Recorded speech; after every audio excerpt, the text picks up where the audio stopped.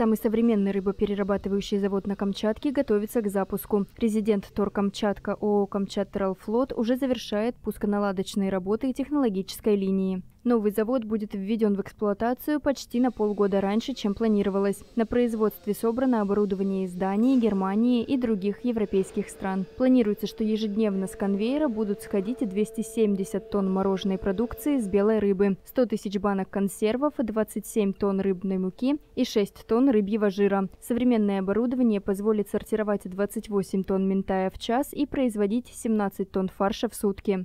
Таких заводов э, в России единицы, если вообще есть. Конечно, нужен. Это высокотехнологичное предприятие, современное, которое будет выпускать очень качественную продукцию.